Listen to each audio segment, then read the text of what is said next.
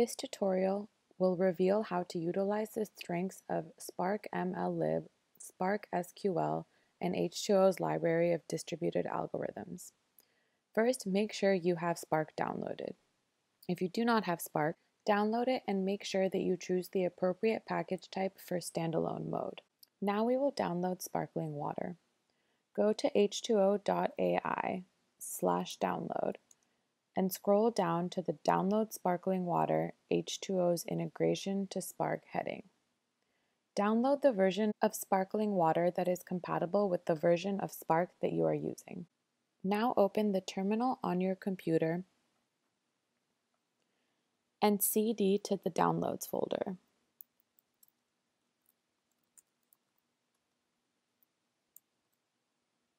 Then unzip the sparkling water installation and CD into the subdirectory. Untar the Spark installation and set spark underscore home to the directory path.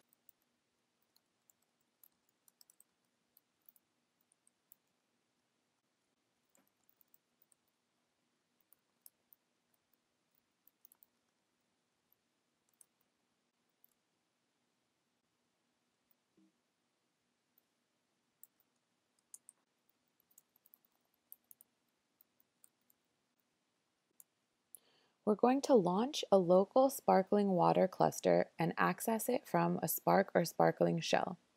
Configure the cluster to launch 1 gig executors for a cluster size of about 3 gigs and run a Scala script by appending the argument dash i followed by the sparkling Scala script.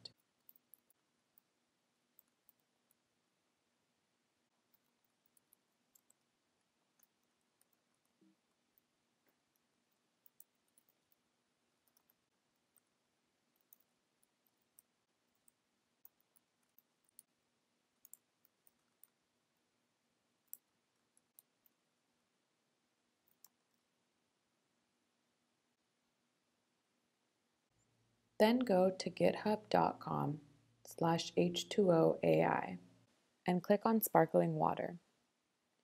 Open the Examples folder and then the Scripts folder. Then click the Craigslist jobtitles.scala file for your own reference.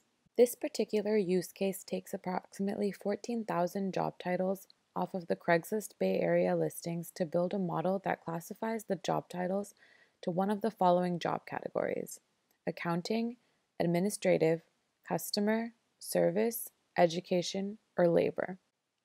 The first step is to tokenize words for each job title while removing words that do not add any value when classifying job categories. These words are called stop words, and in addition to removing them, we also remove non words, strip punctuation, and lowercase everything and remove words that are used less than a certain number of times. We then employ the word2vec algorithm. Word2vec stands for word to vector, and it is a way to encode the meaning of a word in a given text document and then represent this meaning as a vector of real numbers.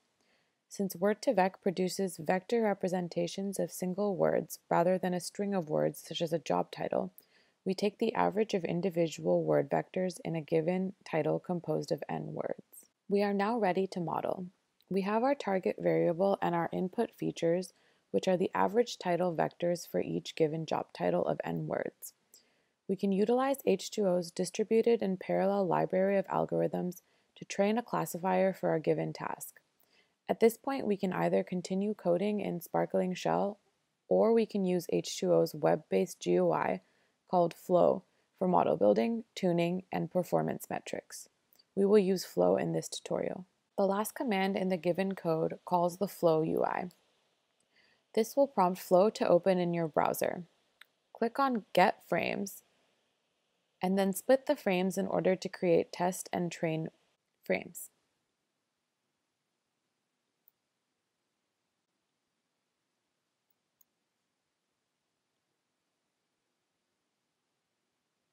In models like GBM and deep learning, it is important to make sure that the model doesn't overfit, meaning it will produce good results on historical or the training data, but new data coming in will get scored with bad predictions.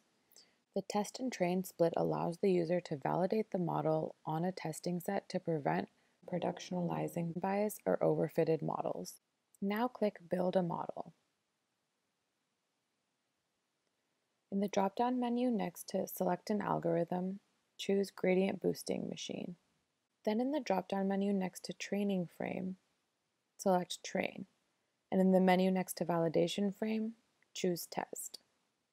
Scroll down, and in the drop-down menu next to Response column, select Target. Then change the number of trees to 100 to increase the accuracy of your model.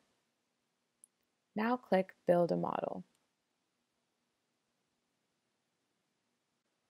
Then select View to see your model. On the scoring history plot, the orange curve that you see on the top is based on the test data, while the blue one that you see on the bottom is based on the train data. This is typically what you'll expect since the model was built to minimize the mean square error on the training set.